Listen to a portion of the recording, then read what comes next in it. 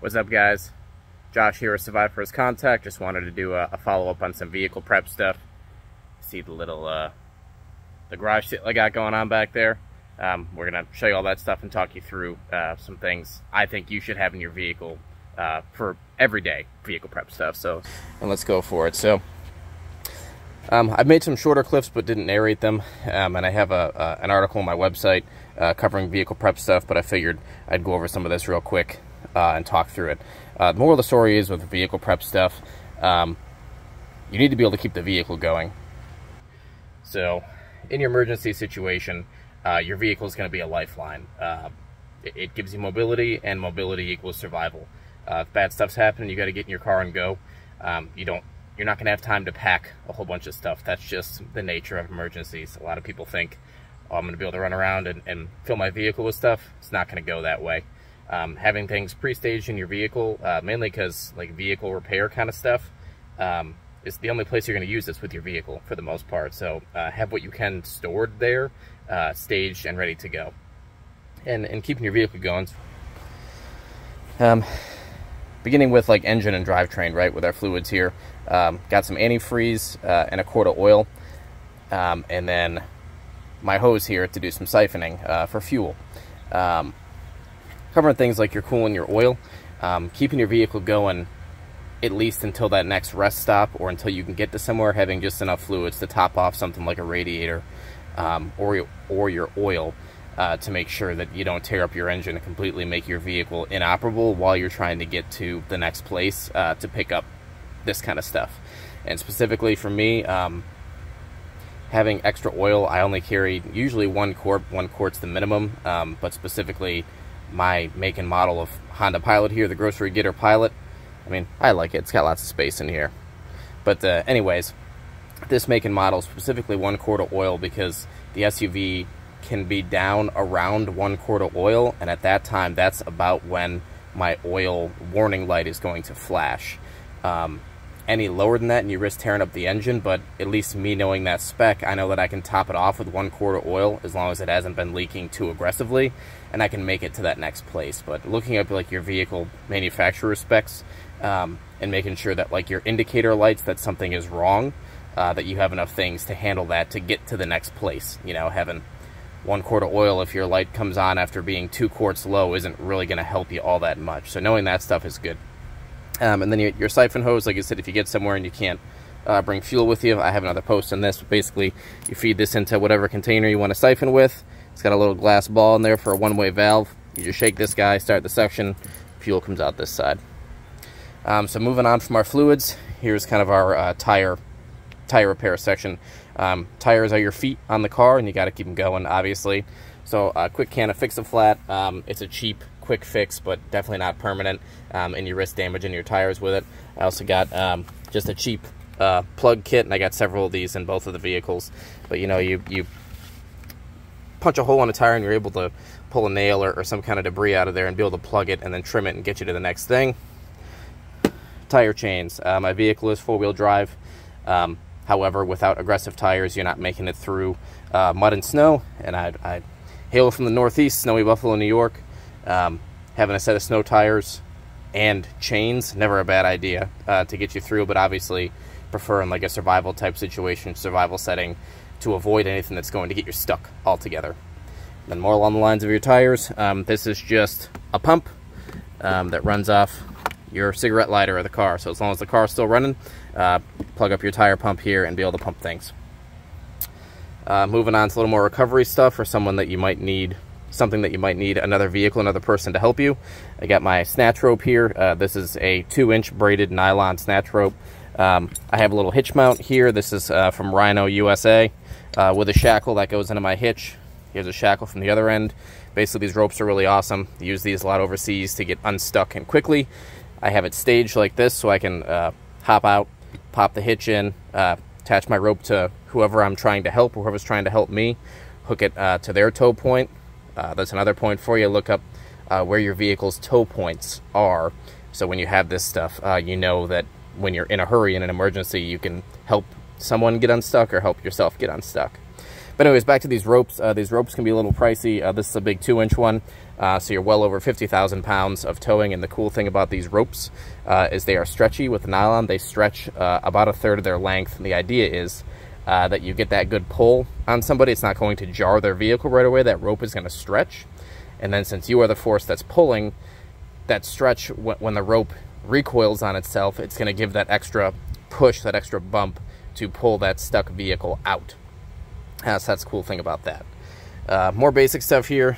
Uh, got your jumper cables. Uh, to note about jumper cables, uh, the heavier weight, meaning the lower gauge number you can get means means a thicker diameter wire. The lower gauge means a thicker wire. Within your jumper cables, jumper cables, meaning you're going to transfer electricity better and get a better jump. So uh, heavier gauge jumper cables, and always have those. You know, in case your battery dies or someone else's, can always help. Uh, just your bag of ratchet straps there from, you know, some simple one inch ones um, and some circular straps, just a girth hitch all the way up to your 5,000 pounders for that. Uh, and then moving into some kind of extraneous stuff, um, JB Weld. Uh, pretty much everything on your vehicle is metal and or plastic. Um, so having a bunch of different kinds of JB Weld, you know, you, you, you have an issue and you need to, to bond something back together. Um, stuff works pretty well on most surfaces. Um, and it seals and cures pretty quickly. You know, most of it within 30 minutes to where um, it's going to hold fluids that you need. Uh, so you can do a quick spot repair, uh, wait a little bit, and then add fluids to do what you need to do and roll on from there. Fire extinguisher. Um, your vehicle is obviously uh, potentially a giant fire hazard. Uh, you got gas and other flammable things in here. Um, having that ready to go. You know, you get into a car accident or you come up on a car accident, the ability to put that out, um, that's huge. Uh, you see more of my straps here. Uh, case of water. You see my go bag back there. Go bag. Talk will be for another day. Um, but you know, water while we're here. It, it's hot here in Virginia, or it's hot, you know, pretty much across the world uh, this time of year. Uh, having water, having fluids with you, always a good thing. I usually uh, cut these cases in half, uh, so I have between 12 and 24 bottles of water, which I go through in about a week. So I'm not drinking water that's been cooking in the car. Not suggested that you uh, drink water that's been superheated or cooked by the sun because of the plastic, uh, but that's another talk altogether as well. Moving to here, I got my uh, emergency weather radio that I can crank. It also has a little uh, solar feature up here. You can charge it. Um, some basic stuff for summer, but it's always back here. Got your bug spray, uh, a couple different kinds of sunscreen. Uh, my wife is allergic to sulfa, so we have to buy a couple different kinds of sunscreen so she can use hers, but obviously good to know that stuff. And then little package of Palmolive soap.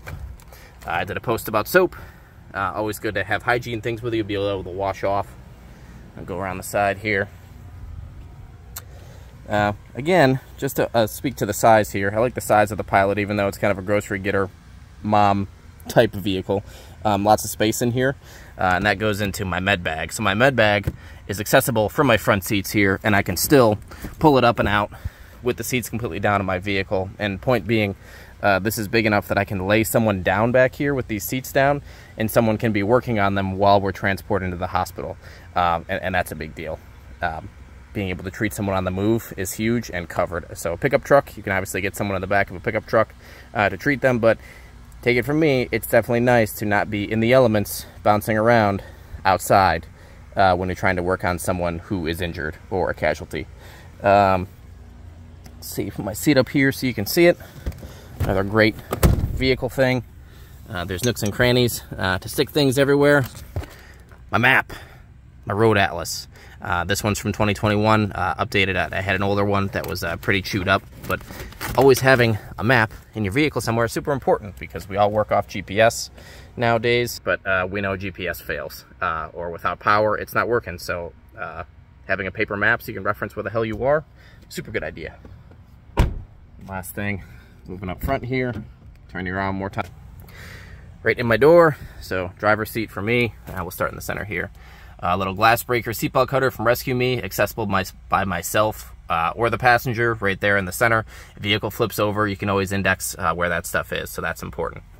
Um, got another one, got a Gerber seatbelt cutter down here on my seatbelt. All I have to do is trace my seatbelt down if something happens, and I know that I'm going to get to my seatbelt cutter. And moving into my door, again, uh, within arm's reach. Tourniquet. Medical stop the bleed stuff, right? Uh, be able to get at it and get it with one hand. Uh, got a, what's got in here? Little buck knife. Uh, the CSAR T model, use this all through SERE school.